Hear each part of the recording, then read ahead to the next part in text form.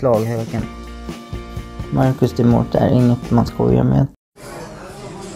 Okej, det är tisdag um, och det är klockan är ett. Um, och jag är druckit vin hela natten för att jag hade inte kunnat sova. Och nu sitter jag här med en kaffekopp också.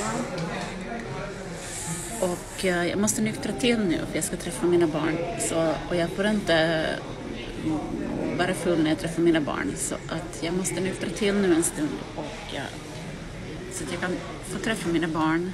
Så, och uh, ja, så är det. Mm. Storytime, storytime om att jag aldrig kommer att få träffa mina barn igen, enligt min exman. Så här går det till. Han har precis just nu ringt. Jag skulle träffa barnen idag. Uh, och jag satte upp en story där jag berättade att jag hade druckit vin i natt. Liksom, för jag kunde inte sova, så jag steg upp och tog ett glas vin.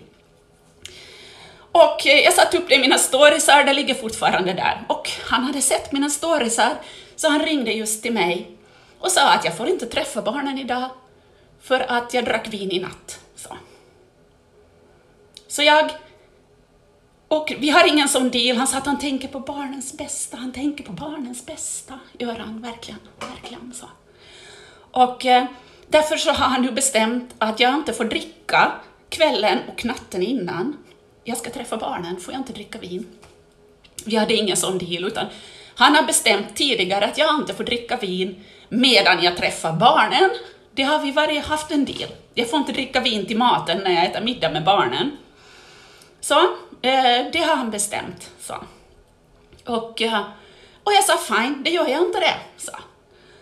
Eh, men nu idag så kommer en ny regel. Jag får inte heller dricka vin natten innan eller kvällen innan jag träffar barnen.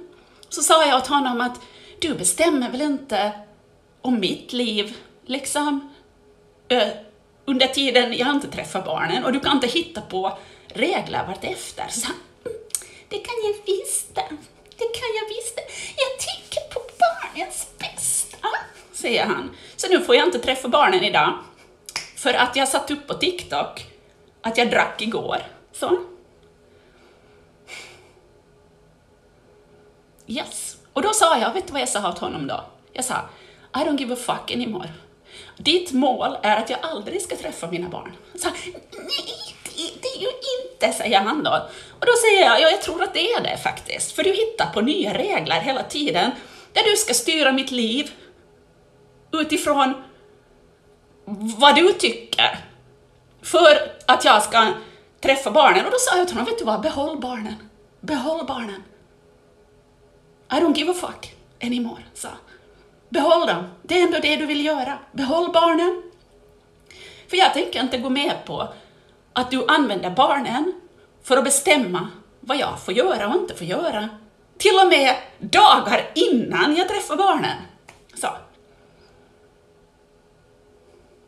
Jag vet inte. Den här människan är sjuk i huvudet tydligen, för att han tänker, han har gått in för att bestämma över mitt liv och han använder barnen för att göra det. Och då kan han behålla barnen. Så. Han kan det. Och det sa jag åt honom idag.